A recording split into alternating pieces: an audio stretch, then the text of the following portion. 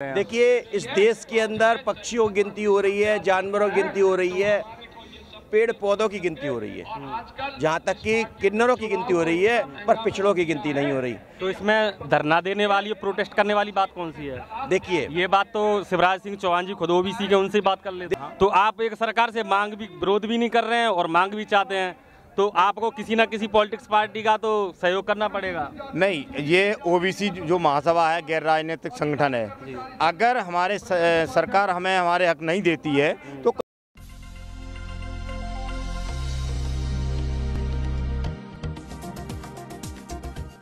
नमस्कार जय भीम साथियों मैं ब्रजमोहन और आप देख रहे हैं जनता आवाज़। इस वक्त हैं हम दिल्ली के जंतर मंतर पर, जहाँ पर मध्य प्रदेश से आए हुए ओबीसी महासभा ने एक बहुत बड़ा भव्य विरोध प्रदर्शन रखा है। आप देख सकते हैं, ये बैनर में लगा हुआ है ओबीसी महासभा दिल्ली प्रदेश।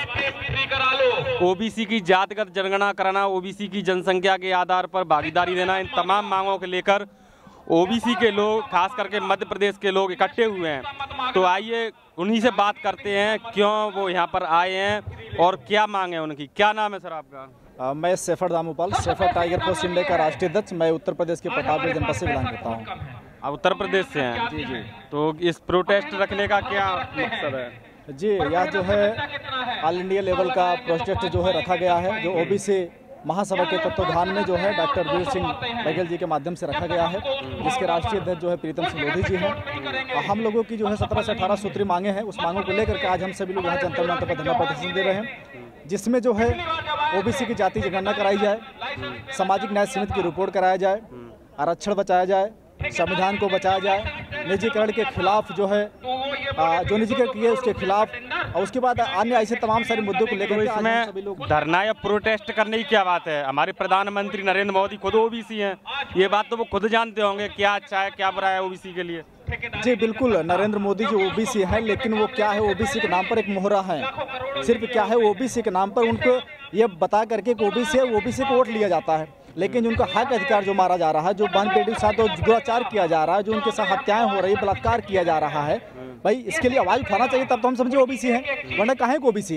भाई आपका जिस घर से बिलोंग करते जिस घर का आप मुखिया हैं आपके घर के ऊपर अत्याचार अन्याय किया जाए और आप आवाज़ नहीं उठाते कहाँ के हमारे मुखिया?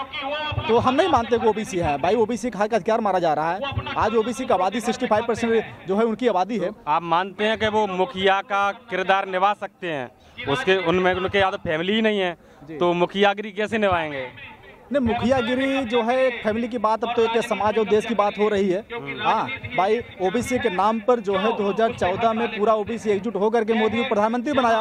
उन्होंने नारा दिया था सबका साथ सबका विकास। हाँ, कहाँ सबका साथ जो है तो सबका साथ तो है लेकिन सबका विकास कहाँ है? तो हो नीरव मोदी और नया कौन कौन से लोग जा रहे हैं? विजय माल्या सबका ही तो विकास है। अकेले मोदी का थोड़ी है गुजरात के लोग सभी का विकास मोदी का है लेकिन आम जनता तो मारी जा रही है जो गाँव में जो किसान रहता है जो खेतीहर जो मजदूर है जो गरीब है जो लाचार हैं जो पीड़ित है जो तमाम ओबीसी एसटी माइनॉरिटी के लोग हैं इनके साथ जो दुराचार किया जा रहा है इनका जो हक अधिकार मारा जा रहा है क्या सिर्फ़ जो पाँच किलो राशन पर ही अब देश चलेगा? हो सकता है हमारे आपके समझने में कुछ गलती हो गई होगी।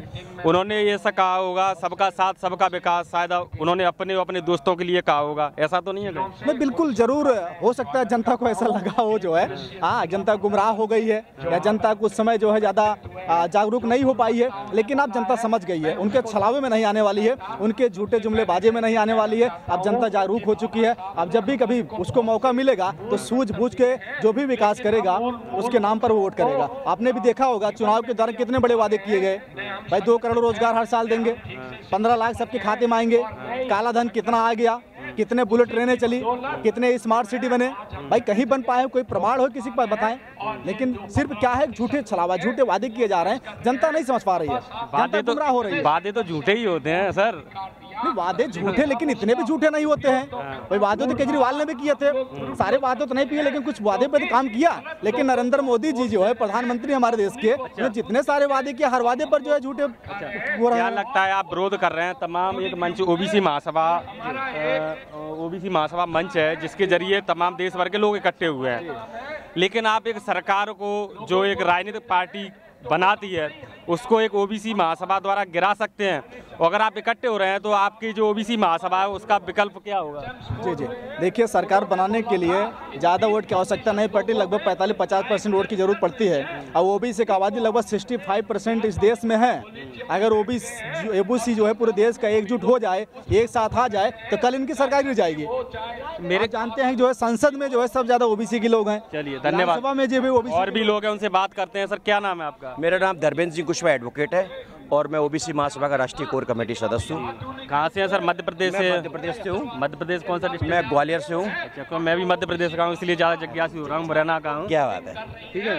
तो सर क्या मतलब मांग रख रहे हैं देखिए इस देश के अंदर पक्षियों की गिनती हो रही है जानवरों की गिनती हो रही है पेड़ पौधों की गिनती हो रही है। जहाँ तक कि किन्नरों की गिनती हो रही है पर पिछड़ों की गिनती नहीं हो रही। तो इसमें धरना देने वाली प्रोटेस्ट करने वाली बात कौन सी है?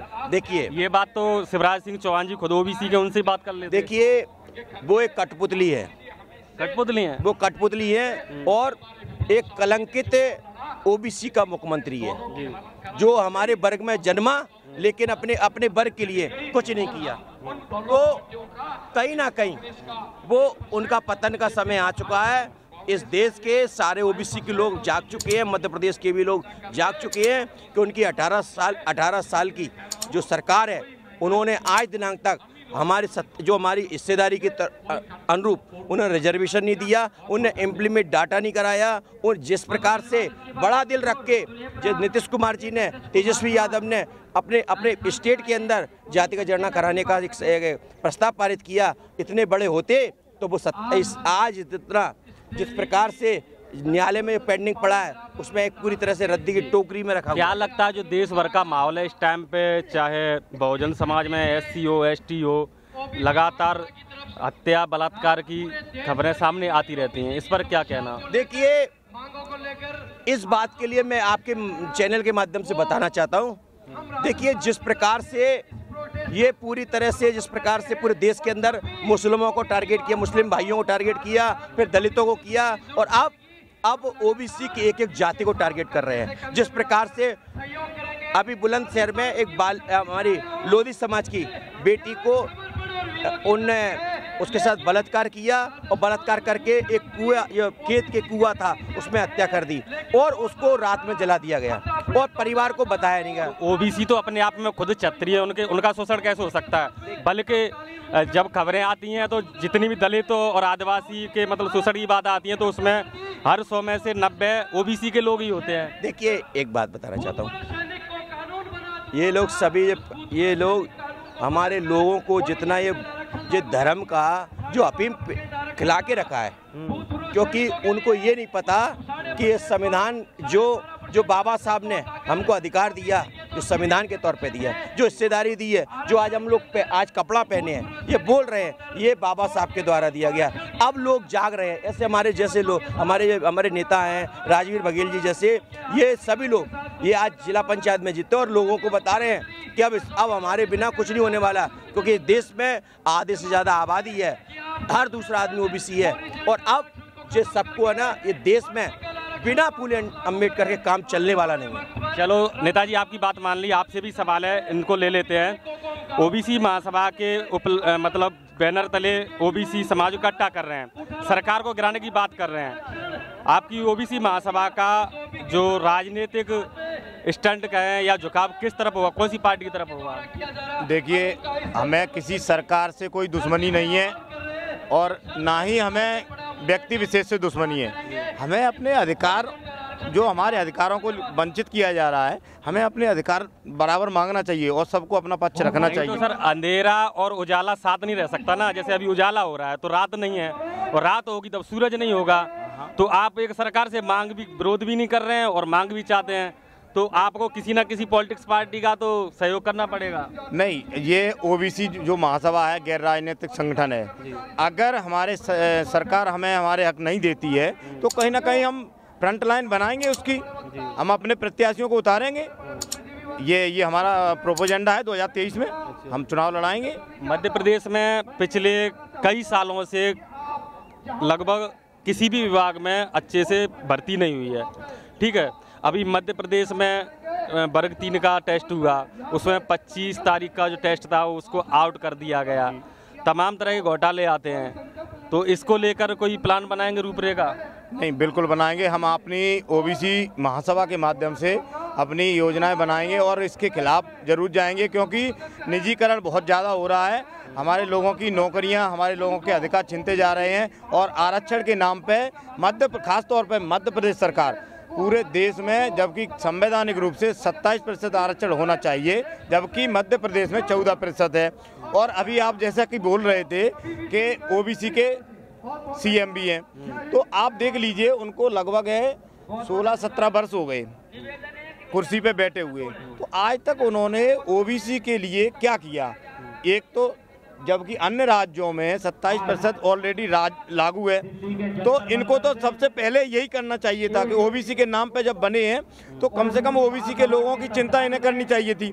आज चिंता तो छोड़ो इनके हक और अधिकार छीने जा रहे हैं और कह रहे हैं कि हम आपका आरक्षण देंगे। हैं माई का लाल कौन काट सकता है आरक्षण आपका? फलाना ढिमका इस तरह की बातें कर रहे हैं। जबकि नौवीं सूची में संवैधानिक रूप से इनको उसमें जोड़ना चाहिए। तो वो जोड़ नहीं रहे केवल केवल ओबीसी को बलगला के ये राजनीति करना चाह रहे हैं। इस टाइम पे ओबीसी समाज के सामने सबसे बड़ी समस्या क्या है राजनीतिक और सामाजिक रूप से? सबसे बड़ी समस्या यही है कि सत्ता में हिस्सेदारी नहीं है ओबीसी की और चुनाव होते हैं तो उनमें भी मतलब और कितनी हिस्सेदारी चाहिए? नहीं नहीं। सीएम पीएम जिला पंचायत सदस्य सब तो और देखो देखो देखो। कठपुतली की तरह अगर काम करेंगे तो भाई निचले क्रम पे जाइए ना। आप आपने एक व्यक्ति को तो आपका कहने का मतलब है बीजेपी पार्टी कठपुतली है? नहीं बीजेपी पार्टी कठपुतली हो या उनके लोग हों। मैं ये नहीं जानता हूँ मेरे लोगों को न्याय नहीं मिल रहा है और उनको अधिकार नहीं मिल रहा है तो हमारे लिए तो सब बेकार है। कांग्रेस ठीक है? नहीं कोई पार्टी ठीक नहीं है हमारे लिए। कांग्रेस इसके पहले थी और बीजेपी अब है। तो जब दोनों ही पार्टियाँ मिलजुल के सरकार बना लेती हैं और हमारे लोगों को वोट लेके हमारे लोगों को वंचित रखती हैं। तो ये बात अब ओबीसी समाज को समझ में आने लगी है। है ना बिल्कुल। बिल वाकई में बहुत बड़ी बात है कि मतलब क्योंकि ओबीसी समाज अधिकतर यही कहता है मैं आपके पास का भी मैंने बताया अभी ठीक है? को हमेशा आज भी जाओ छत्री राजपूत तमाम सेना चला रहे हैं और सबसे ज़्यादा शोषण का जो काम कर रहे हैं अज्ञानता बस कर रहे हैं हालाँकि जानबूझ के नहीं कर रहे हैं वो खुद जानकारी नहीं है लेकिन नब्बे में से सौ में से नब्बे केस में इन्वॉल्व रहता है डायरेक्ट नहीं रहता ओबीसी समाज का लोग। ये बात ओबीसी समाज के युवाओं को समझना चाहिए कि इन आपस की लड़ाई झगड़े में कुछ नहीं रखा सरकार से सत्ता सत्ता से रोज़गार मांगिए नौकरी मांगिए तभी इस देश और आपका उद्धार हो सकता है। इस वीडियो में सिर्फ़ इतना ही आप देखते रहिए जनता आवाज़ नमस्कार।